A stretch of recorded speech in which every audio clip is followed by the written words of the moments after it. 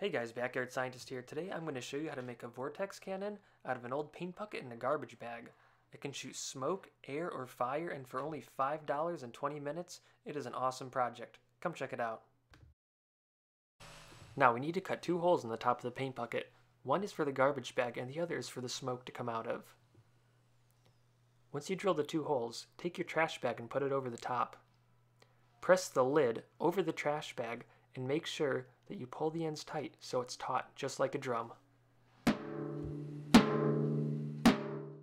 Alright, now that we have our vortex cannon built, it's time to fill it up with smoke. If you have incense sticks, you can use that too. Now, try your hand at sharpshooting and try to shoot a ring through each other, or just shoot them through the air. Shoot some paper cups, or shoot them at your cat. The possibilities are endless.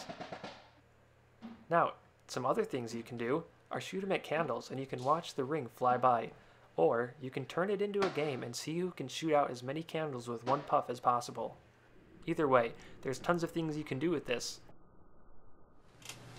Alright, now it is question time. This is the part where my viewers send in questions for me to answer about my video. The first question is from Smarty Farty, and he asks, What is a vortex? That's a good question. Our next question comes from viewer Blonde Sonic. She writes, This video sucks, you suck, a vortex cannon? Lame, I thought you did cool stuff. I do do cool things. This is the Backyard Scientist after all, and no video would be complete without me setting something on fire. Why do you think I have this can of propane? Why do you think I have this can of butane? You're about to find out. Not that, but in a second. Alright, all you need to do to turn this into a flaming ring shooter is a spray of butane in the opening.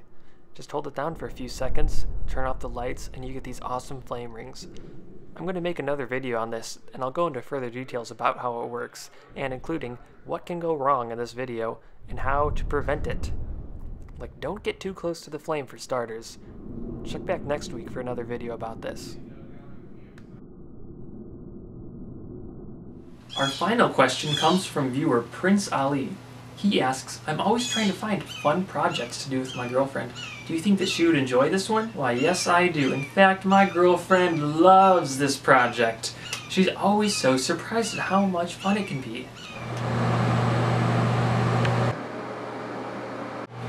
XX Pro or Valencia? Surprise, bitch!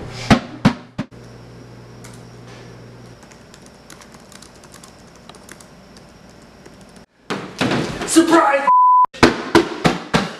Hey guys, I hope you enjoyed watching my video. Don't forget to check back for more, and if you have any ideas for me, leave them down below in the comments section.